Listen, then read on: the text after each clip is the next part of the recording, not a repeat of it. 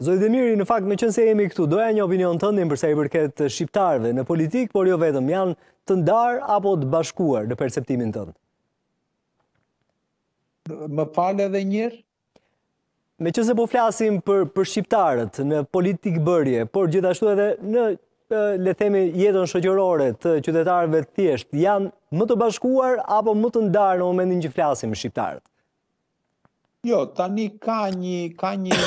ka një tendencë për bashkimin për bashkimin e opozitës shqiptare që është për ta përshëndetur, sepse sepse uh, problemi kryesor i shqiptarëve te ne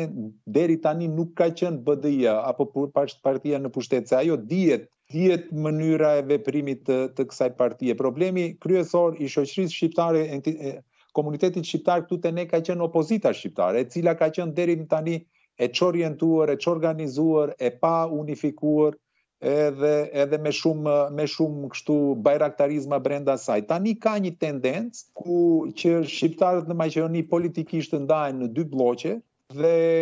me me me me idenë që mos mos bëhet shpërndarja e, e as e, e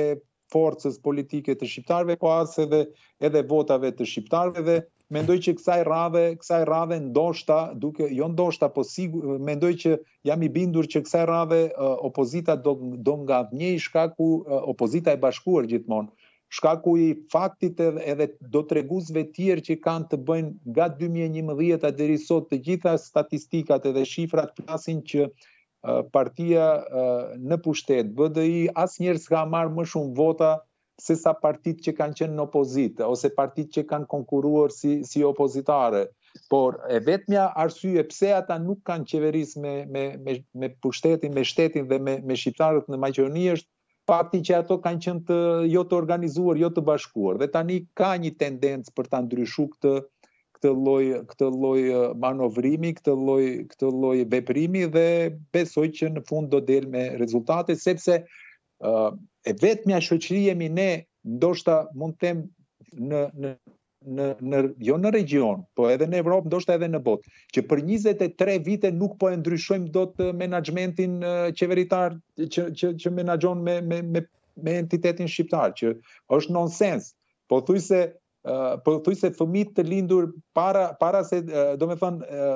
të lindur dikundi nga një 2002-sha, 2001-sha fëmijët të cilët nuk kanë jetu kurrë me me me zotin Ahmeti sot sot po merren po merren mbas 23 viteve me me zotin Ahmeti. Kjo nuk është mirë as për atë parti, nuk është mirë as për këtë shoqëri, sepse mendoj unë që në, maksimalisht që mundet një pushtet për të qenë efektiv dhe për të prodhu progresivitet dhe dhe dhe dhe, dhe avancim